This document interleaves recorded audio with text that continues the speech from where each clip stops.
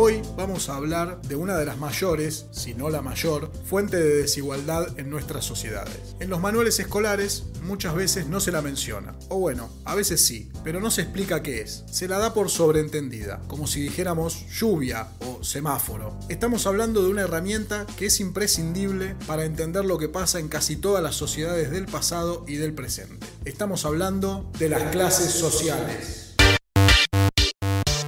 Para empezar, vamos a hacer una distinción entre diferencia y desigualdad. No significan lo mismo. Pensemos en dos individuos imaginarios, Mariano y Agustín. Mariano es alto, tiene pelo castaño, ojos claros y en su tiempo libre organiza asados con sus amigos. Agustín es de estatura mediana, tiene pelo oscuro, ojos marrones y le encanta recorrer el centro de la ciudad los fines de semana. Todas estas características hacen que Mariano y Agustín sean diferentes. Ninguno de los rasgos que mencionamos pone a uno en desventaja con el otro. Pero agreguemos un dato más, que nos veníamos guardando bajo la manga. Resulta que Agustín es uno de los principales accionistas de la empresa constructora en la que Mariano trabaja como albañil. Que uno sea un trabajador asalariado y el otro sea su patrón, nos hablan de algo que es mucho más que una diferencia.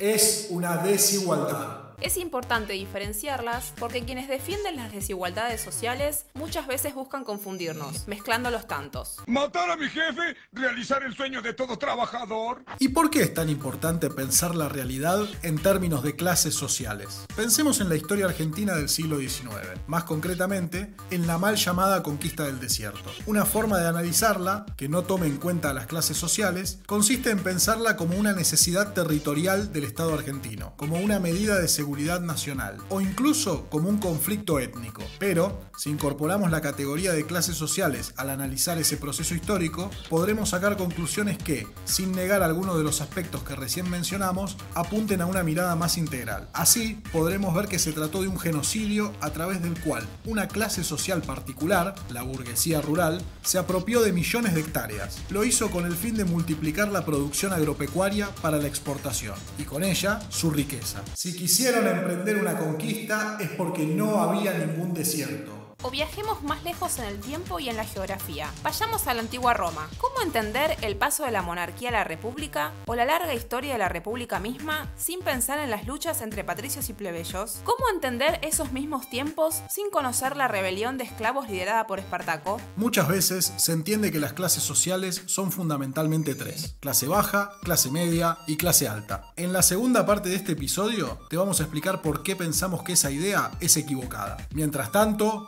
continuará.